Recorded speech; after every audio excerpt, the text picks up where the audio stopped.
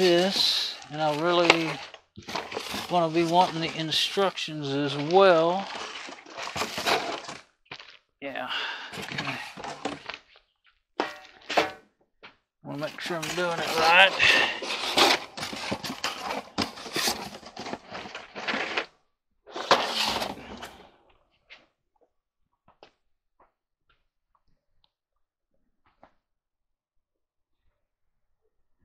Needle noses.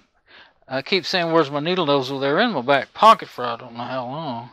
I don't think I need them right now.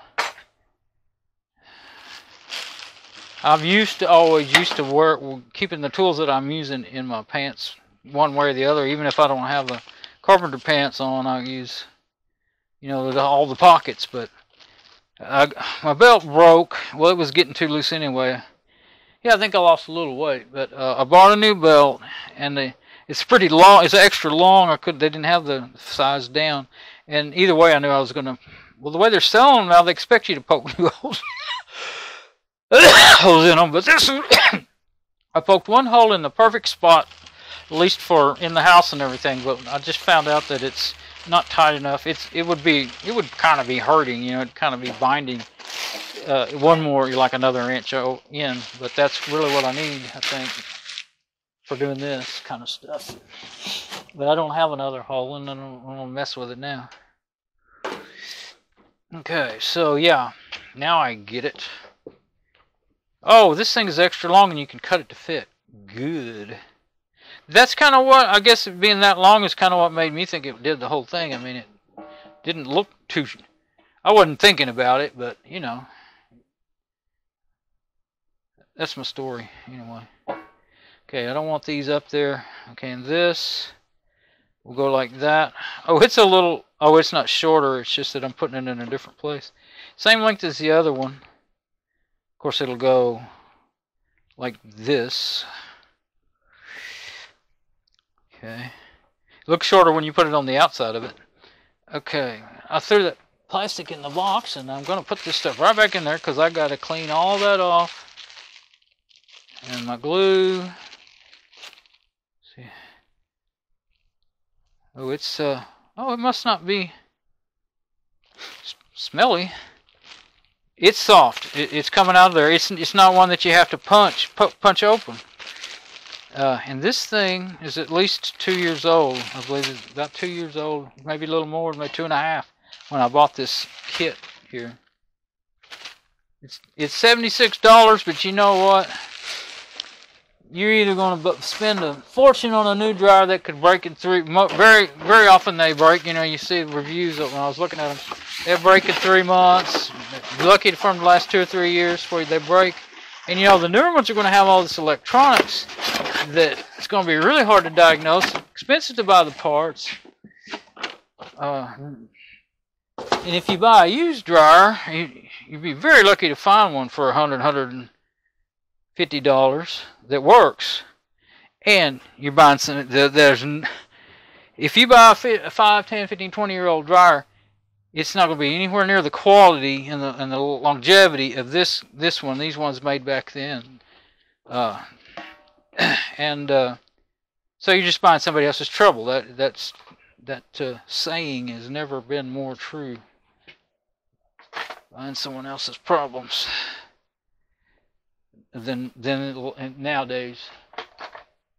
So uh, I will need my probably need a putty knife, and I'll get my cutting knife there. Oh, I know what I can use. I'll get it in a minute, but I want to kind of look at these instructions first. So, uh, oh, that's Spanish. I don't read Spanish. No habla español. I mean, English. Let's see. Yeah, I was born and raised in Texas and been around Spanish speaking people. Uh, well, when I was in school, well, there was uh, one family on this street. It wasn't but a couple of families in Hazel, but then when I grew up and went got a job in town, then I heard Spanish all the time. And uh, I only ever learned about 10 or 15 words. Some of them you can kind of figure out because they're similar to English, just with a little accent on the end or something. Okay, let's see. I do good. Now I can barely remember my English words. may have figured that out if you're watching this video. Okay. Notice, this assembly is a factory authorized replacement for the previous system that used a Teflon impregnated top felt as the glide. Oh, really? Yeah, the, I can see the plastic is so much better. The first one lasted from 93 till about 10 years ago. Not even, yeah, about 10 years ago, I think. Maybe 12. This one lasted, well, how long did it last? Okay, maybe it lasted 10 years. I don't know. See, I don't know what I'm talking about. Yeah, take the front assembly off the door. Remove the old felt. Seal spacer. Glides if used. Clean the surface of arc, removing all residue of old felt.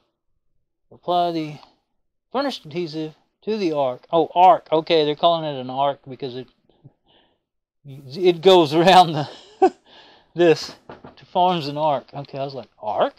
Wasn't thinking of that kind of arc. Apply the adhesive to the arc. New felt glides simply to the arc. Or seal. Note, about one eighth of the felt will extend over the lip. You know, I was thinking I was going to put this together and let it dry. I can't put this door back on there. It'll tear it off kind of get this door on there. Because the drum has to go over it. I got to leave it right here until tomorrow. Okay. Well, I'll get it glued up then. Just hit me. One eighth of the felt will extend over the arc. I guess they're calling this circle with the door an arc. This piece of plastic here is so sharp. It's like a knife after being worn down. Keep hitting it. Inspect the drum lip. No, that's the drum lip. Reattach the front panel, reconnect the dryer to the electrical. Okay. You know, I th I think that's, well, maybe this isn't like a new instructions, because I did see some instructions for that in there, I think. I think I'm getting hungry again. Guess that's not unheard of. I don't know what time it is, but it was. I ate at. Uh, well, I think it was about 1:30, and then last time I went in to take go to the restroom and stuff, it was. Yeah, here's some more instructions on that.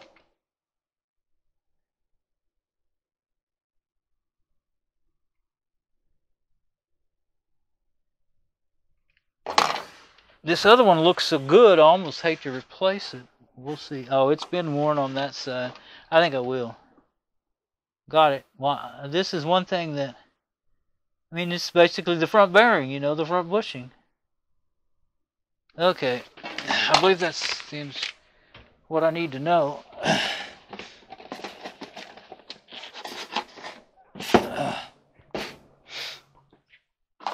Ow! There's so much sharp stuff on this thing. Screws that hold the door lid on. This this part is in such good shape. I hate to mess it up. You could really, if you if you had some plastic things to. You know what would be a good thing to do if you if you didn't already have this whole new deal that is peeling, it's old and worn, is like get some of this. Uh, you can buy this. Uh, this plastic. You can buy some of this. You know, people are using it all the time in their projects and their table saw tables and stuff um, that you could buy uh, some of that plastic, but buy a whole strip instead of just three separate strips, and buy a thicker piece even, as thick as you could get in there, and uh, and that some of it is got it, it, certain types that are they self lubricate. They have some oily type substance you know, made into the plastic, poured, you know, poured with the plastic, and they self-lubricate, and so that would probably, well, this could be that kind, I don't know, but of course you wouldn't want anything that could uh, explode in the heat of the dryer, so you might want to double think, double check that, all that, but uh,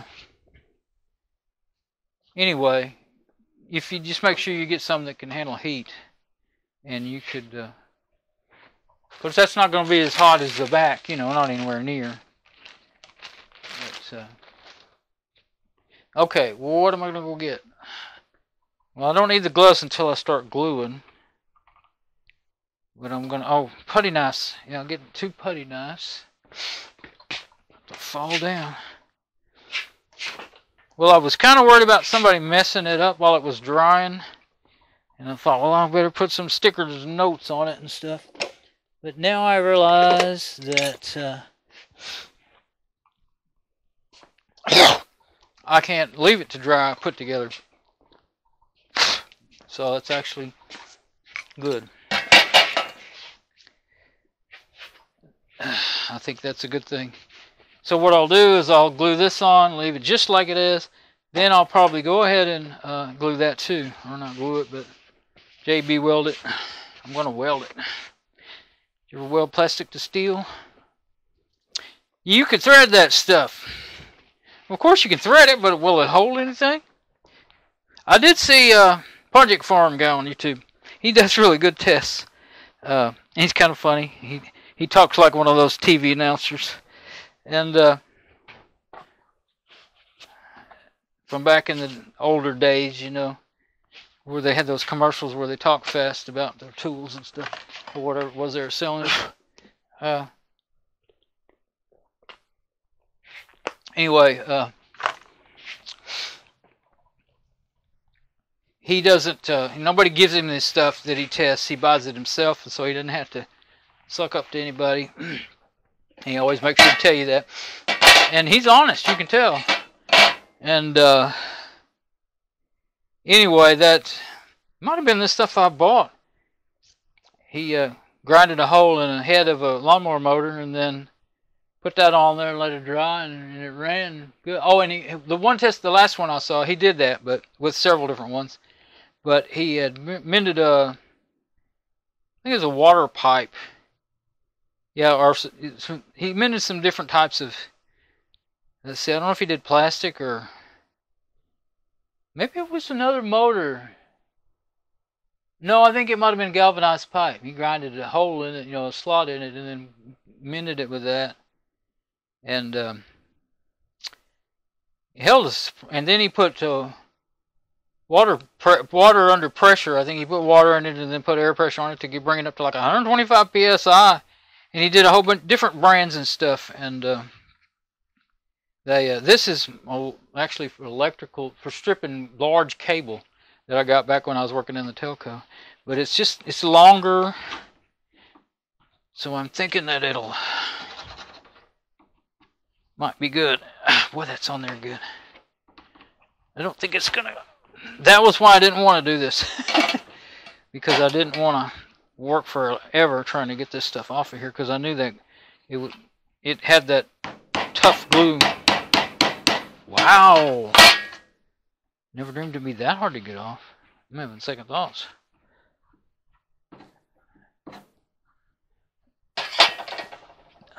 I'll tell you what, you could go around that with a jigsaw.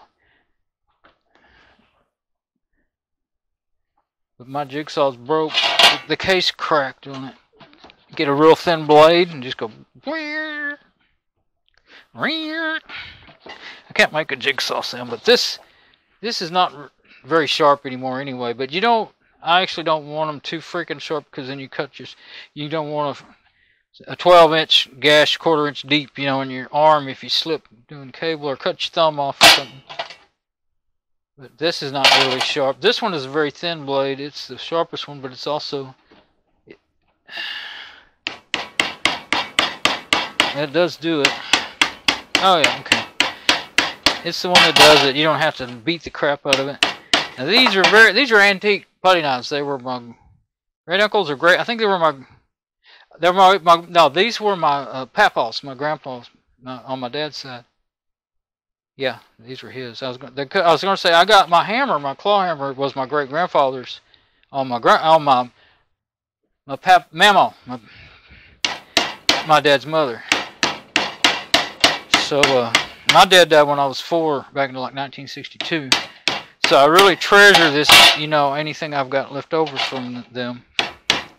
And my mom and papa lived until Well, Papa died about two or three years before Mama. The late 80s? Yeah, the late 80s. Yes, I finally put my gloves on so I wouldn't keep end up cutting myself up.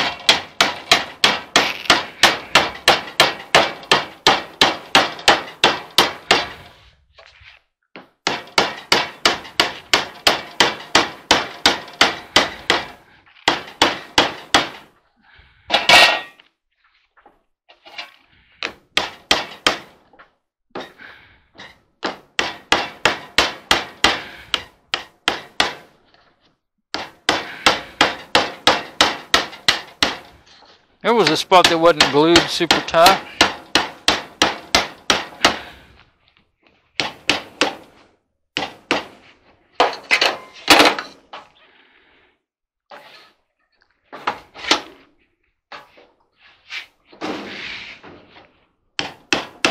I'm keeping on going the same direction because I've got this to back it up.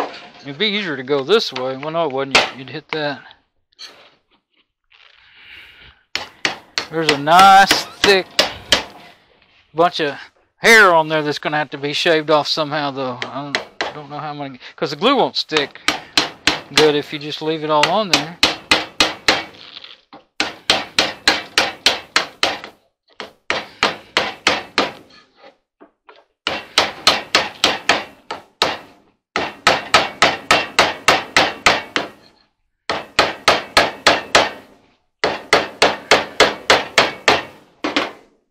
sure that I don't go too far. I'm still leave myself an option of maybe if I don't want to take that other one off.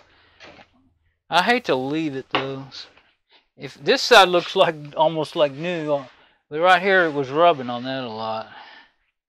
I I just hate not doing it and then wishing I had later. You know what I what I'm concerned about. Oh, that came off okay. Oh, it's got. Uh, plastic studs in there. That's what held that on. It was held on good. Uh, the, this is the only one left at all. The rest of them are just gone. So it definitely had to be done. This is some really thick, tough felt. You know, that could be used for other things. Uh, if you don't, if you if you need a, uh, you need a rod bearing or a crank a crank bearing, there you go. Better than bacon rind. Okay, so uh, let's put it somewhere. Put it on the box. I think I'm just going to roll those up and put them in that box. You might never know what kind of emergency you might have later. Those are probably just rattling around on there, so I'll move them for now. Okay, that was not so bad once I got the right the tool that worked. I don't know if it's the right tool, but it worked. Now, which way I want to go? I think I want to go this way. Yeah, I'm going to go ahead and do it because it's too heavy to... Oh, I moved it that far and didn't even know it. it. It's been worn quite a bit right in there. It doesn't really look... Well, it does look a little thinner. A little pressed down, at least. Oh.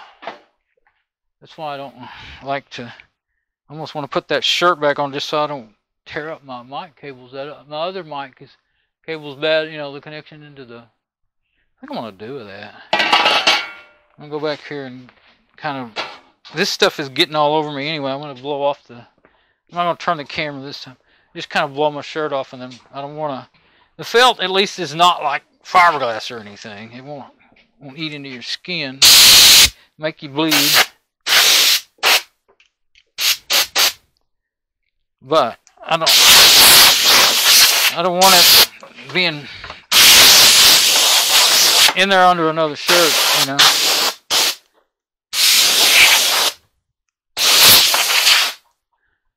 That's wrong with being clean while you clean as you can be while you're working. Just takes it make you slow.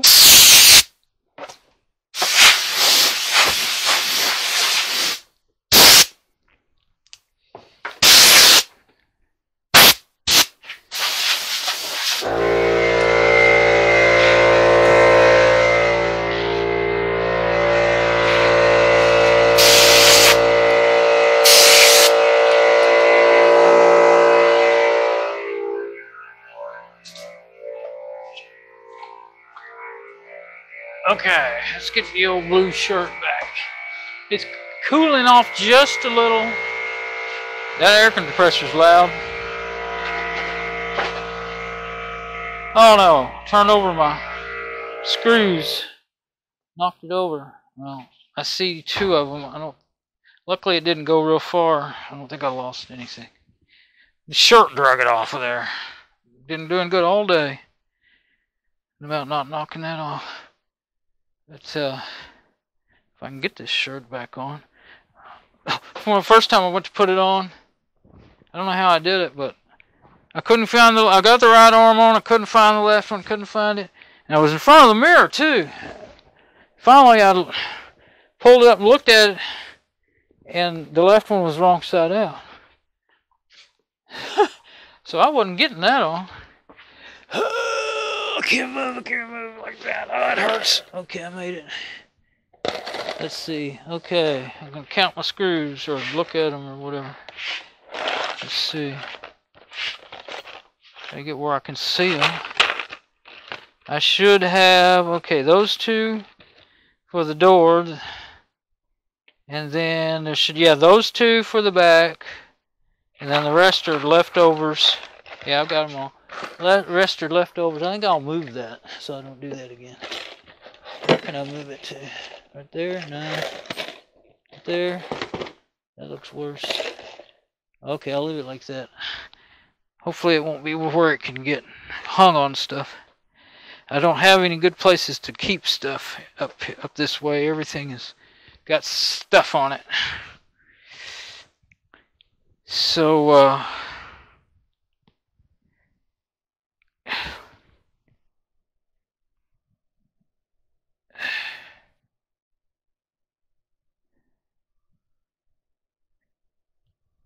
I think I will go get, I know what I want to do. I've got a really handy strap clamp. A long, long time ago. I think my mom gave it to me for Christmas. Long before people started using these tie-down straps for clamps. This was made to be a clamp. And it's kind of really for woodworking and stuff. That's what I used it for anyway. I'm looking at the camera to make sure everything looks like it's working good. Where's that? There it is, the blinking blue light. Okay. And uh, everything's cool with the. See, I had to keep them plugged into the phone chargers to keep it from going to sleep and from, you know, the batteries running down. The only one I have to watch is the phone battery in my in my packet here. Anyway, that clamp is back here somewhere. I think it's in my nail bag that I was talking about my leather nail bag. But I don't. I have used it for other things besides, you know, carpenter work. But well, it pulls your pants down too. and uh, anyway, I think that's where that clamp is. And I already have most of the stuff out, so I might as well get it. Ah! I am sore. I'm going to hurt for a week. Not used to working like this. Let's see, there it is. That where I used to always keep it. Well, I'll just leave that all out like that. Okay, since I talked about it, here we go. Here's the clamp. I just wanted to have it out and ready. You turn it with a screwdriver or a wrench. Got a hex head and a slot on it. But, uh, this is my great grandfather's hammer. Uh, he was still alive when I was little. Uh, this is my be my dad's grandfather. I used that when I worked in the cabinet shop in the 70s and 80s. And I don't, well, I had it back in the 80s. I don't remember exactly when I got it. Oh, my, my papa had it, but it was my great grandfather. So it came with my tools from my papa. He gave it to me or something because he was he was still alive back then. But you know, that's the best hammer I ever had. The only bad thing about it is it's got a narrow, the metal part up there. Well, it's all metal and it's wrapped in leather. The handle's wrapped in leather. But that metal part, I was used to, uh,